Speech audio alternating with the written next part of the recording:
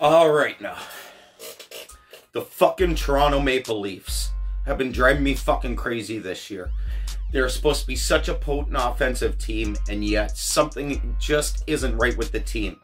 The, is it the players just aren't the players just don't seem to be buying into the system now i don't know whether you want to lay blame on babcock and not mixing things up enough, being a little stubborn. And he used to mix things up with Detroit all the time. He doesn't seem to really be doing that much juggling now.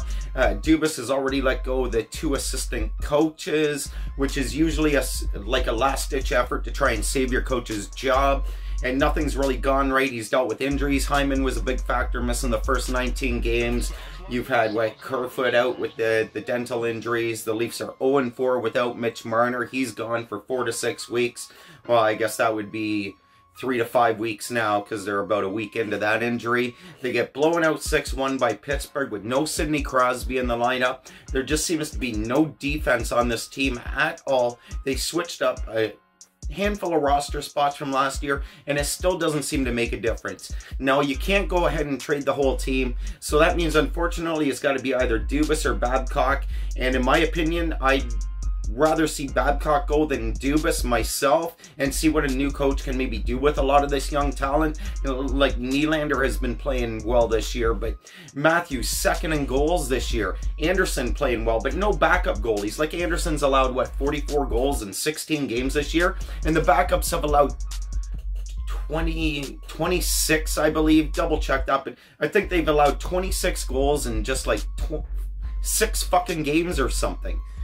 26 goals in six games. Backup goalies, one or two have been empty netters, but that's completely unacceptable. I realize Babcock's hands are tied in the backup goalie situation in a lot of ways, but why do you continuously put him out there against what seems to be the better team on the second night of back-to-backs when the, the legs are going to be a little more tired heading into them?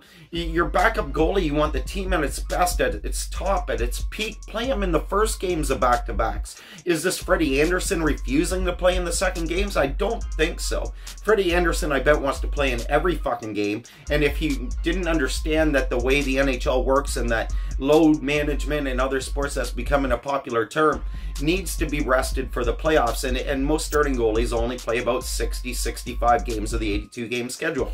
So where does this all lie? Like, where is the least biggest problems?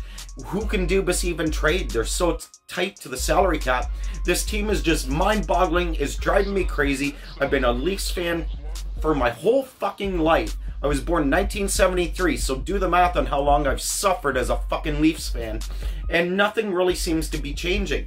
And, and I don't know, like, I don't want to hate on Babcock because he's, I think Babcock's a good coach and a very smart hockey guy, but he's just, for some reason, being too fucking stubborn in my opinion, and, and he has to go now. It's, I don't like to say that because especially when I think somebody's a good coach, but it just ain't working with this group of players. And unless you can roll out and trade the majority of your fucking team, which is impossible in any sport. I don't see this changing unless Babcock gets fired and maybe some new a new coach comes in with some new ideas or a system that the players actually believe in and support.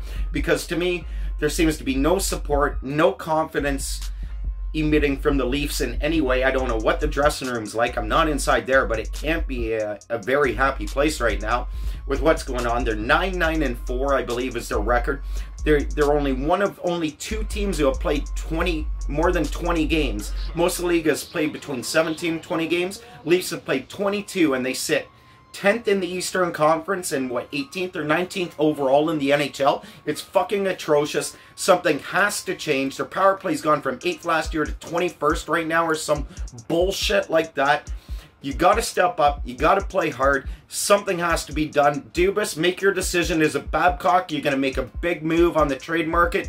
Whatever it's going to be, let's make this fucking happen. Everybody knows the NHL. Teams that aren't in a playoff spot by December 1st hardly ever make it, let alone do what St. Louis did last year. And a lot of that came on the head of Binnington. I don't care what people say about the coaching change St. Louis made. They made that shit in November or the end of November or middle of November or something, not in January when Binnington got hot and ro- the Blues rode him all the way to a Stanley Cup championship. So Babcock, Unfortunately, I think you're the piece that has to fall next. The two assistants have already gone. Nothing has changed. It hasn't switched it up at all. Unfortunately, you're up next. That's my Leafs take for today. Peace.